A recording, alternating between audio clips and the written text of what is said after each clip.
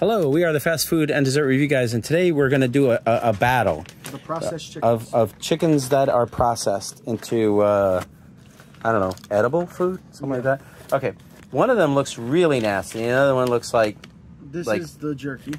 like oh, that's the jerky? Well, oh, I'm sorry, let me see.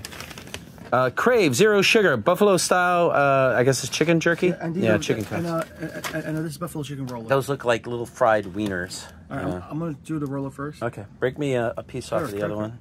I just Whole thing, yes. whole thing, Oh, the the whole whole thing. Out. This is terrible. What do you think? Let's go. This is like the worst thing I've eaten in probably a couple of days. I think there's a glob of cheese in there. No, I guess that's chicken. Um, and then there's all this bready stuff.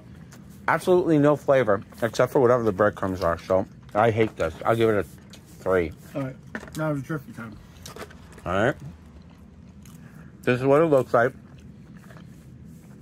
I'm still chewing that fucking rubbery ass. Um. All right. I need a clean palate.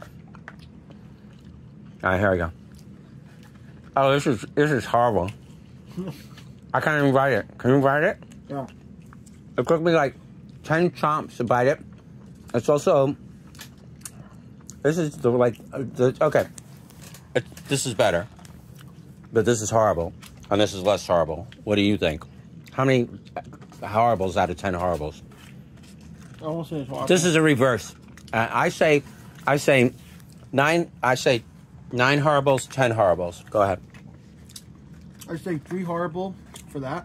Three for this, I say five for this. five for this. Okay.